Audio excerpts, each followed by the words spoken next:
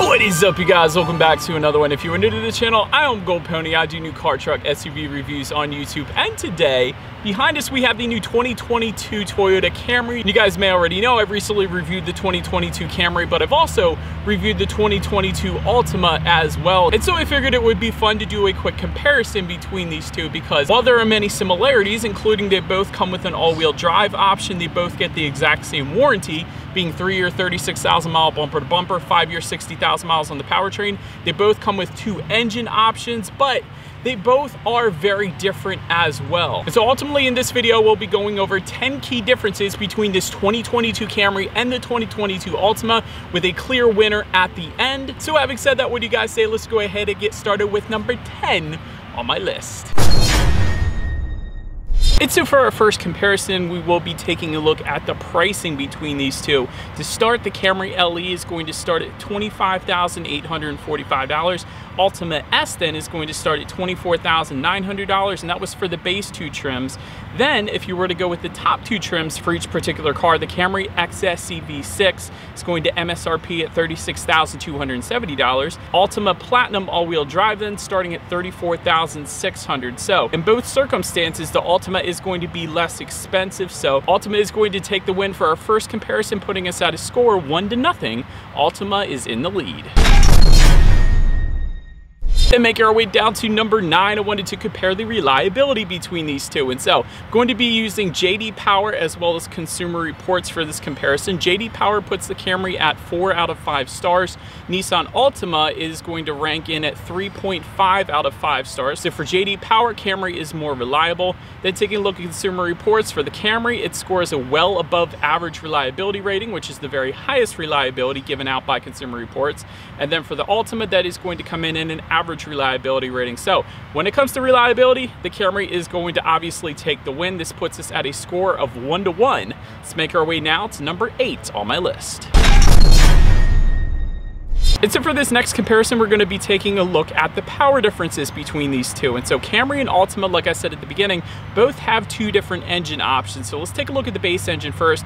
Camry is going to give you a 2.5 liter inline four cylinder, 203 horsepower, 184 pound-feet of torque, 0 to 60 coming in at approximately 7.6 seconds. Then taking a look at the Altima base engine, that is going to be yet again a 2.5 liter inline four cylinder, this time putting out 188 horsepower, 180 pound-feet of torque. 0 to 60 time, 7.4 seconds, so slightly quicker there for the base engine with the Altima. Then if you were to go with that upgraded engine for the Camry, it's a 3.5 liter naturally aspirated V6, 301 horsepower, 267 pound-feet of torque, producing a 0 to 60 time coming in at approximately 5.1 seconds. Then taking a look at the Altima's upgraded engine, that is a 2-liter turbocharged inline 4-cylinder, 248 horsepower, 273 pound-feet of torque, 0 to 60 time coming in at approximately 5.8 seconds. So Altima base engine is going to be quicker to 60, but the Camry upgraded engine is going to be quicker to 60 there. So I'm going to go ahead and call this one a tie just to be fair, which still puts us at a score of one to one. Next on the comparison list here is going to be the fuel economy between these two. And with gas prices what they currently are, this is very important. And so take a look at the Toyota Camry first. There are three different configurations. There's going to be the four cylinder putting out 28 MPGs in the city, 39 on the highway. There is that V6 I just mentioned, 23 in the city, 33 on the highway. But then the Camry actually also has a hybrid powertrain available. And that one is going to put out 44 miles per gallon in the city, 47 then on the highway. But then taking a look at the Nissan Altima, four-cylinder engine option is going to come in at 28 in the city, 39 on the highway, so the exact same MPGs there four-cylinder turbocharged engine. The upgraded engine is going to be 25 in the city, 34 in the highway. And with the Altima, there is going to be no hybrid powertrain available for that particular car. So having said that, since the Camry does offer a hybrid, that kind of blows the rest of these numbers out of the water. So I got to give the win to the Camry on this particular comparison, giving us a score of two to one. Camry is in the lead. So next on the comparison list here, I wanted to take a look at the rear legroom because chances are if you're buying a sedan, you're more than likely going to have some rear passengers at some point or another. Camry rear legroom space is going to come in at 38 inches even. So for reference, I'm an even six feet tall. This is how much space I had when I tested it out there. Then taking a look at the Altima, that is going to come in at 35.2 inches. Again, for reference, I'm an even six feet tall. This is how much space I had back there. So quite honestly, I could fit in both of them, but you will get substantially more space space in the back seats if you were to go with the Camry. So Camry is the clear winner here, putting us at a score of three to one. Camry is in the lead. Next on the comparison list is cargo space. And so popping the trunk here, Camry is going to come in at 15.1 cubic feet, which actually is pretty darn impressive. That is a very good number for cargo space. Then taking a look at the Altima, 15.4 cubic feet, so even better. Again, very good number for cargo space back there. Both offer a 60-40 split, meaning the rear seats do fold down, bumping that up quite substantially. But ultimately, in the end, the Altima does sneak out the win here, putting us at a score of 3 to 2. Camry is still in the lead. Next on the comparison list, I have to mention it here, is going to be safety because if you're buying a sedan, you probably may have kids in the back and you definitely want to be sure that you have a safe vehicle. So when it comes to safety, I'm going to be using IIHS, which is the most reputable safety ratings company out there, in my personal opinion. Toyota Camry gets an IIHS Top Safety Pick Plus, which is the very highest designation given by IIHS. Then taking a look at the Altima, also an IIHS Top Safety Pick Plus. So they both get the very highest safety rating available, which is definitely a very good thing. Both also get knee airbags up front, both get a forward collision warning system with autonomous emergency braking. Both are great for safety overall, essentially, is what I'm getting at here. So again, I'm gonna have to call this one a tie because they're both excellent when it comes to safety. Three to two, Camry is still in the lead. Next on the comparison list here is going to be the braking. This is one that always stands out to me because after driving 600 plus vehicles, I am very particular when it comes to the braking feel. So when it comes to the Camry, up front, you're gonna get 12 inch ventilated front discs. In the back, 11.1 inch solid rear disc. As far as that 60 0 stopping distance goes, it comes in at 122 feet. And I remember the Camry, and it definitely had a very nice braking feel. It tends to lean more on the firm side of things, which I personally appreciate.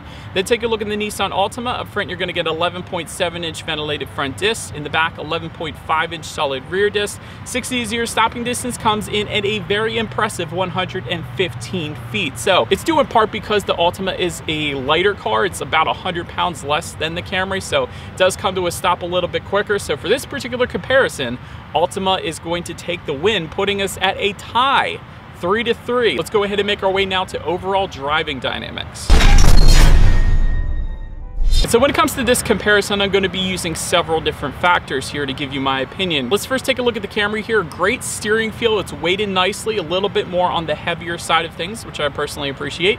As far as cabin noise goes, that did very well there as well. A little bit of road noise, but it wasn't all that bad, and it's due in part because there is an acoustic laminated front windshield, which definitely contributes to the lack of cabin noise, so that was pretty good. Good ride quality as well for what the vehicle is, and the 8-speed automatic did pretty darn good. It's pretty much as I expected, so no issues there. Then take a look at the Nissan Altima. Again, very great steering feel, weighted nicely. Quite honestly, it felt nearly identical to the Camry, so that was pretty nice. Minimal road noise yet again because of the acoustic laminated front windshield, so right on point once again. And I will say for this next section here, I'll give the disclaimer that the Altima that I was testing was the SR trim level, which had a sport tuned suspension. And there is a sport tuned suspension available for the Camry as well, although that wasn't the one I particularly tested. So since I had the sport tuned suspension, I will say the ride was actually quite rough very noticeable rough ride in the SR trim level. I would imagine if I did not have that Sport Tune suspension, it may have been a much smoother ride, so I did want to mention that.